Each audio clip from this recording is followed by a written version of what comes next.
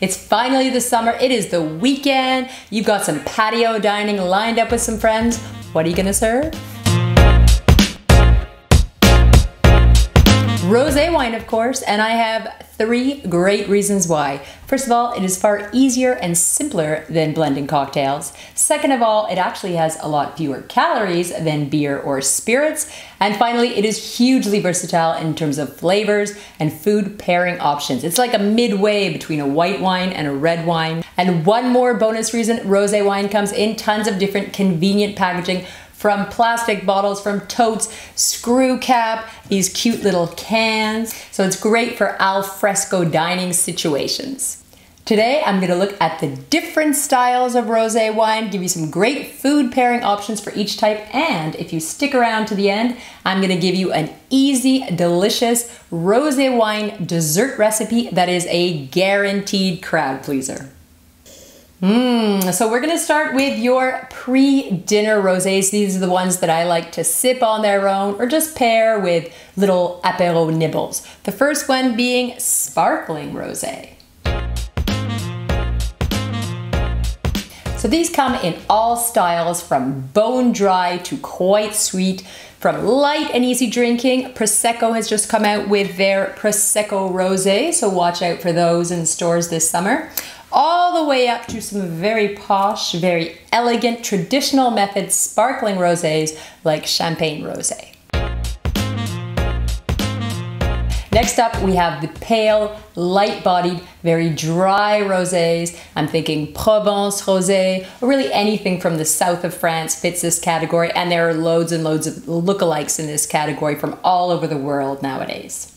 These styles are light in body and they also have quite delicate flavors, so you don't want to overpower them with anything too rich or bold. Salmon tartare, grilled prawns, roasted veggies, or goat's cheese work well. Then we get into some more medium to full-bodied rosés that are still quite dry, but have a bit of a firmer structure to them, earthier flavors, quite subtle fruit, and often fairly high acidity, like this Gamay Pinot Noir from Quail's Gate. So rosés from places like Burgundy, Sancerre, Sangiovese based rosés in Italy, some Bandol in the southern France, these all fit this category. And these firmer, deeper colored rosés spend more time macerating on the skins before fermentation.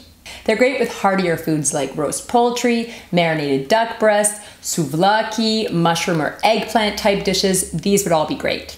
They definitely need that food pairing because they tend to have a little bit more astringency on the palate. And higher acid grapes in this category, like Pinot Noir or Sangiovese, for example, these would go really well also with tomato based dishes where the acidities would be nicely aligned. Next, we have another medium bodied category, but with more overt fruit dry to slightly off dry and much more rounded on the palate. I'm thinking places like Tavel in the Rhone Valley, Navarra or Rioja in Spain, warmer parts of California or Australia make these styles. And these can be tricky to spot because they can range in color from quite pale to a deep raspberry shade like you could find on a Tavel. So these dry, fruity, rounded rosés work really well with mildly spiced dishes. I'm thinking fish tacos, fajitas, ceviche. They also work really well with savory sweet combinations, like a meat with a fruit sauce, a salad with a raspberry vinaigrette, things like that. Finally, we have our sweet rosés, and these can really run the gamut from a rosé d'Anjou, for example, from the Loire Valley that's about 20 grams per liter, to a white Zinfandel that's about double that in terms of sugar, all the way to your Moscato rosés, which can easily be 60 to 80 grams per liter of sugar. If you like sweet rosé wine on its own, go ahead, but they can also give a couple really interesting options for food pairing. Sweetness is great for tempering spice. So think about the hotter Indian or Thai curries. The sweetness here and the fruitiness would work really, really well. They also obviously work very well with dessert. But the thing to remember when you pair a sweet wine with a sweet food is you need the wine to be slightly sweeter than the food. Otherwise, the combination can be a bit sickly. Red berry desserts are always a winner here. So there you have it. Now it's time to share a delicious recipe for rosé popsicles. This is a super fun, easy dessert. Just make sure you don't mix them up with your kids' pops in the freezer.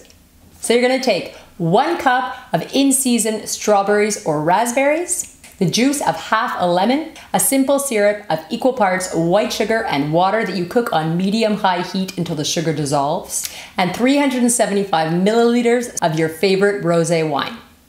Get out your blender, mix the fruit, the lemon, and the wine together, strain it if you don't like seeds, then sweeten to taste. Then distribute into your popsicle molds and freeze for at least six to eight hours, and voila! As always, thank you so much for watching. I'm going to be posting a list of great value rosé wines on my blog, so I'll put the link down there in the description to that. And if you like this video, as always, please share, please like, and do subscribe. It really helps me to keep this channel going. See you next time, and until then, enjoy the summer and your rosé wine. Santé!